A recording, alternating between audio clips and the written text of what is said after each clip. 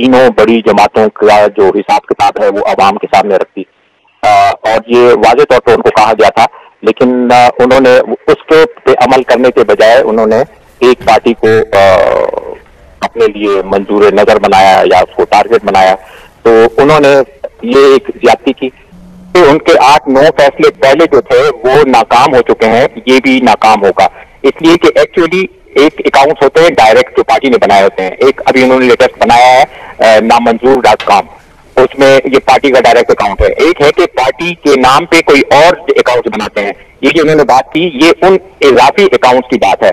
इजाफी accounts पर क्या आप मेरे दोस्त हैं, आप मेरे लिए अकाउंट्स बना लेते हैं कि जी हम कोई सोशल वर्क कर रहे हैं या पॉलिटिकल वर्क कर रहे हैं तो उसके लिए हम सपोर्ट करें।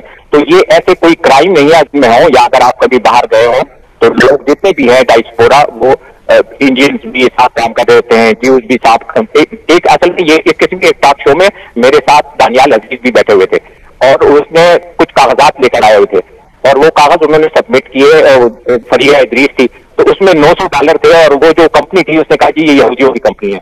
बाद में पता चला कि वो यहूदी की ला फर्म है और उसमें वो पाकिस्तानी यहूदी पाकिस्तानी लायर काम करते हैं और उन्होंने उसके जो अपनी कंपनी की तरफ़ से वो 900 डॉलर अच्छा फ़र्क क्या ये कह भी दें और मैं आपको बता दूँ कि एक्चुअली वो पैसा जो आपको दूसरे ममालिक की सी आई ए रा मोसाद या एम आई सिक्स देती है अपने मुल्क के खिलाफ इस्तेमाल करने के लिए जैसे बीबीसी की स्टोरी थी कि रा ने एम क्यू एम को पैसे दिए थे वो कंफर्म स्टोरी थी उस पर पार्टी बैन हो सकती है। बाकी इनमें अगर कोई भी चीज़ होती तो आज आप देख लेते हैं इसमें क्या कहा उन्होंने कहा हम एक्सप्लेनेशन कॉल करेंगे दैट्स ऑल नथिंग बेंच से इलेक्शन कमीशन से। मेरे जो तमाम इल्ज़ाम थे वो आज साबित हो गए इसलिए मैं अल्लाह का शुक्र अदा करता हूँ।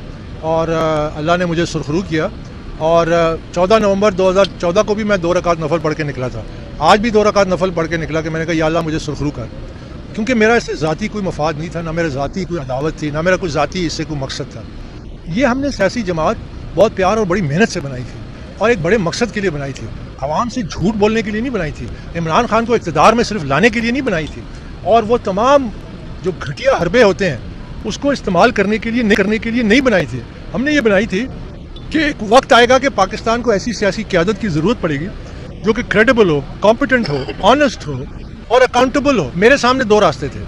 या मैं इमरान खान के साथ मिलकर इकतदार के मज़े उठाता, या मैं उसके सामने खड़ा हो जाता कि ये पाकिस्तानी कौम और आवाम से एक धोखा है जिसमें मैं शरीक नहीं होगा मैंने वो दूसरा रास्ता इख्तियार किया और मैंने वो बड़ा मुश्किल रास्ता इख्तियार किया। और आठ साल बाद, आज जिस रास्ते पे मैं चला हूँ आज वो साबित हो गया कि मैं सच्चा था और इमरान खान झूठा था।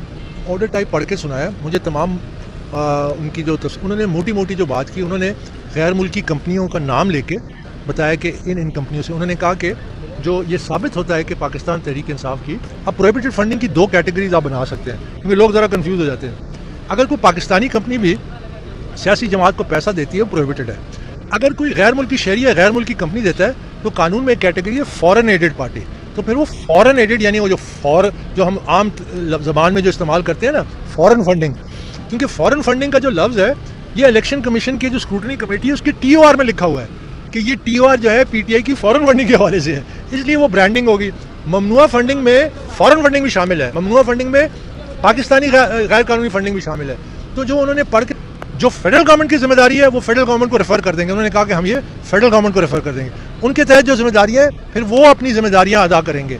इलेक्शन कमीशन एक आखिरी मौके के तौर पर शो कॉज नोटिस देगा, ये जो इल्ज़ाम साबित हुए और फिर उसके बाद सज़ा का तयन करेगा कि अब इनकी, मेरा इमरान खान से जो जो मैं उसके साथ मिला, और हमने एक बड़ी तवील जदोजहद की। मैं ज़िंदगी में आज तक तादाद से मुतासर नहीं होता। इमरान खान मेरी गाड़ी में बैठ के मुझे कहता था कि मेरी पूरी जमात तेरी गाड़ी में आ जाती है। इसका मतलब है कि उसकी सपोर्ट बिल्कुल श्रिंक थी कुछ भी नहीं था। उस वक्त उसने शौकत खाना भी बनाया था उस वक्त वर्ल्ड कप भी जीत चुका था तो मुझे तो उसको छोड़ देना चाहिए था क्योंकि इसके पास लोग नहीं थे। मेरे इस मन तक मेरी सोच इस पर नहीं है कि इसके पीछे इतने लोग हैं तो मैं भी मैं रेवड़ का हिस्सा कभी नहीं बना। मैं खुद देखता हूँ हकीकत। जब मुझे सच्चाई सामने आ गई कि इस कौम से बहुत बड़ा धोखा होने जा रहा है तो इमरान खान क्या इमरान खान से दस गुना बड़ी शख्सियत के सामने मैं खड़ा हो जाता? पाकिस्तान। इलेक्शन कमीशन ने मेरे मेंबरशिप के हक में फैसला दिया है। सिंगल बेंच हाईकोर्ट ने मेरे हक में फैसला दिया है।